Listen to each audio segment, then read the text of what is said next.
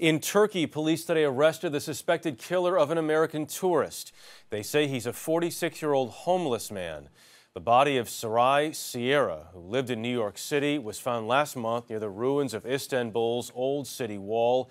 She had been traveling alone. The mother of two boys, Sierra was 33.